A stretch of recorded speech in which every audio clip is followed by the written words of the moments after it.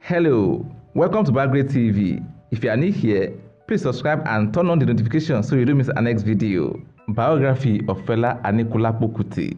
The legendary songwriter, pianist, civil rights activist, and drummer was born to the family of Protestant minister Reverend Rasom Kuti and wife Fumilayo Kuti, a political activist. Fela was born as Olufela Olusegun Oludotun Ransom Kuti in Abeokuta, Nigeria on October 15, 1938, then the city in the British colony of Nigeria.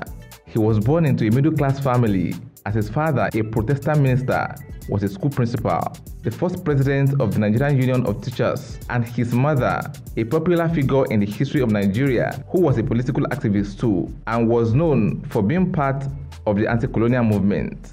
Fela was the first cousin to writer and Nobel laureate Wole Soyinka.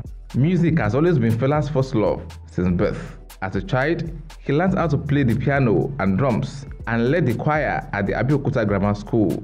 In the early 50s, Fela gained admission in London to study medicine, which was a thing of pride for the family, but they ended up with their pride in shreds when the defiant Fela opted to study music at Trinity College of Music, London.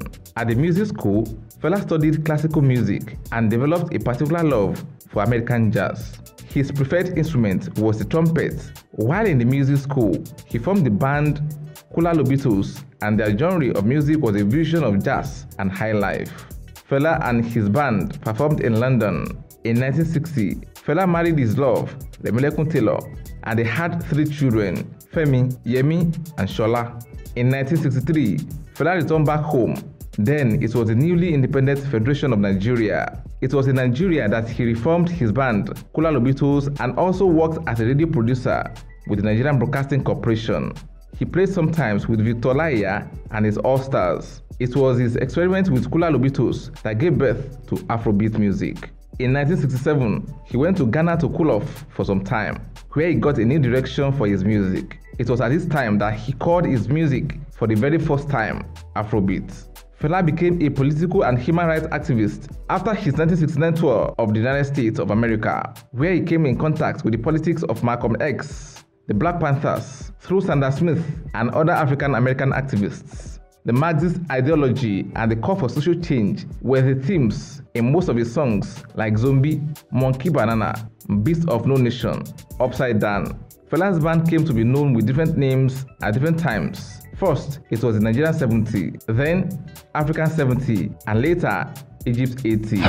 Fela formed Kalakuta Republic, a commune, recording studio, and a home connected to the band, and he later said his republic was independent from Nigeria. He did set up a nightclub in Empire Hotel, first known as the Afro Spot, and later the African Shrine, where himself and his band, Wild Folks, with Afrobeat. This musical legend, known for his energetic music, had his way of speaking for the common Nigerians, the oppressed, something that is missing among contemporary Nigerian musicians. He stood for the people of all ages, ethnic groups, the young, old, male, and female, through his enthusiastic worded music. The then military government, whose rule was wired with tyranny, had Fela's anti-oppression music caused them serious unrest. For that reason, they tried all they could to give a dog a bad name. They made it a routine to always raid his compound, Kalakuta Republic, looking for evidence to jail him.